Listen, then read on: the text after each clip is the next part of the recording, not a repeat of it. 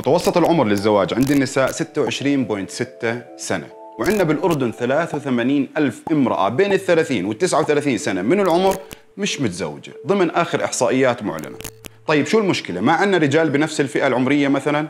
لا يا عزيزي المواطن عندنا 122 ألف رجل بنفس الفئة العمرية لم يسبق لهم الزواج وإحنا مجتمع محافظ نوعا ما والعلاقات عندنا مقيدة فما تقنعني إنه هذا الإشي طبيعي. والمشكلة أكبر عند البنات من الرجال لأنه العمر مرتبط بالقدرة على الإنجاب.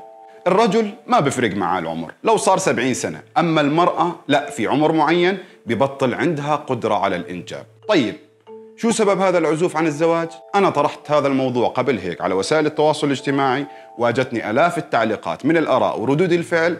راح ألخص لكم إياها سريعا. السبب الأول قريبي تكاليف الزواج كسرة ظهر مهر جهاز عفش بيت لبس صالونات حفلات قاعات عزايم زفة فاردة وغيره. وهاي أول ما يفكر فيها الشاب اللي بده يتجوز ببطل مباشرة وبصيبه إحباط ويأس وما بكمل السبب الثاني اللي أجاني من كثير ناس سهولة الحرام والعلاقات غير الشرعية. شباب بنات علاقات عابرة وتفريغ غريزي عاطفي. وهذا الإشي بيأثر بشكل مباشر على الرغبة على الزواج لأنه بصير في اكتفاء عند الطرفين وبخلي الأيام والسنوات تمر بدون زواج وما بصحوا حالهم إلا وهم ب 30 35 سنة من العمر أو حتى بالأربعين.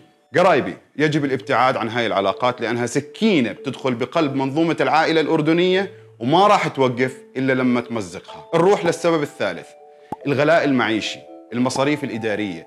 إيجار بيت كهرباء مي أكل شرب تعليم مواصلات وغيره.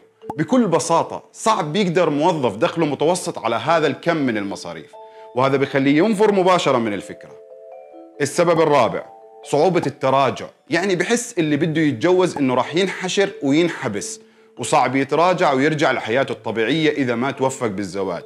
وهي طبعا سببها صعوبة الطلاق محكمة ودفع وإجراءات ومتأخر ونفقة وغيره. السبب الخامس والأخير صعوبة التعدد إن كان في المحكمة وتفاصيلها كإثبات دخل وغيره ونظرة المجتمع للرجل اللي بيعدد على إنه ظالم وكان سبب في تدمير زوجته الأولى. وغير هيك ردة فعل الزوجة الأولى حرب طلاق استخدام جميع الأسلحة المتاحة محكمة متصرف شقاق نزاع قعدات عرب ونكد وجلد 24 ساعة. هدول الخمس أسباب هم خلاصة عشرات الآلاف من التعليقات اللي إجتني عن أسباب العنوسة. يمكن تتفق معها ويمكن تختلف. كلنا بنحترم رأيك. وإذا أسباب ثانية أنت شايفها أرجوك اكتب لي في التعليقات. بس هيك سلام قرايبي.